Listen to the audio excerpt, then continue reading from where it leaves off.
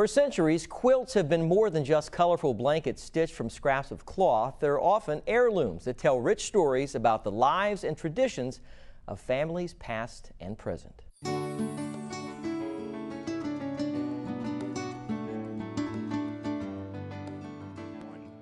Stitch by stitch, a quilt is a patchwork of love. Love from a mother to her child. The love of a hobby that has passed through generations. The love for family. This year in Tallahassee, this love is at the center of the 26th annual Capital City Quilt Show with the theme Our Lives in Fabric. Uh, for the past many years, the Museum of Florida History has been partnering with Quilters Unlimited of Tallahassee to bring this beautiful show to Tallahassee. Uh, every year we have uh, various quilts, different quilts. It's never the same show. This exhibit features 67 quilts of different sizes, colors, and materials. Like these. Believe it or not, they're made of wood and you have to get very close and look at them very, very closely to know that they are actually wooden carvings and not fabric quilts. Melissa Gross and other members of the Tallahassee group Quilters Unlimited stitched many of these quilts, piecing together more than just cloth and creativity. It's a, a great collection of women that uh, come together to study quilting um, you know, contributing to the community, uh, getting together in fellowship and, and shared interest in, in quilting. Threaded throughout each work are the bonds of family history and relationships to reflect the show's theme. Sometimes within a family, you look at a, even a, just a piece of material in a quilt and you know where that came from or you know what was happening in your life at that time. And you know, there are quilts here that people made as they were sitting at, you know, the bedside of someone who was ill, um, you know, or they made it for a wedding. I slept under the quilts that my great-grandmother made during uh, the Depression. Charlotte Root has been sewing quilts for over 25 years. So you pick out your fabric and you take it home and you plan it out and you cut your pieces for whatever design you want to have.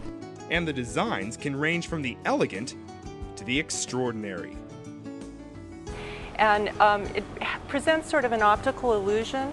If you look at the, the orange in the middle, what you'll see is fish. And if you look at the white, if you just focus your eyes on the white, you'll see birds and guests have been flocking to see this exhibit for years. I think it's probably one of our most popular exhibits throughout the year. Uh, we have folks coming from South Alabama, South Georgia, all over North Florida every year. Some of the same people to see this, this show each and every year. This is the second year Elena Rakestraw has come here. I'm amazed at how beautiful they are and how they come up with all of the ideas and since I'm new to it, I'm amazed at all of the work that goes into them. But these lavish designs aren't only for display, they're also shared with those who may need it most. Where there's a need, we try, we try to step in and, and do that.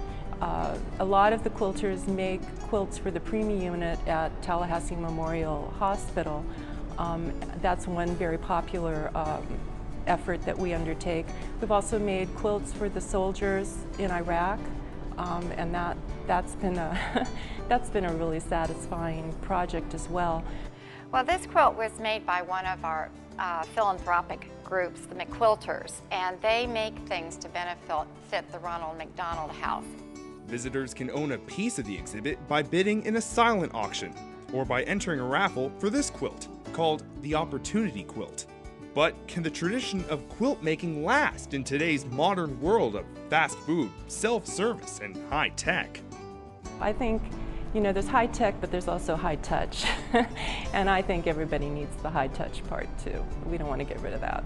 I think everybody should at least try to make a quilt. They become keepsakes. Uh, they're treated as precious uh, art items and they're oftentimes displayed in the home and many times they're kept and protected and handed down from generation to generation. So, with each new quilt, a new tradition of love is stitched into the fabric of their lives.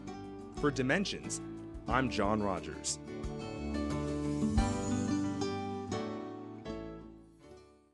The Capital City Quilt Show at the Florida Museum of History ends on October the 28th. And also on that day, the auction will be closed and the winner of the Opportunity Quilt will be notified.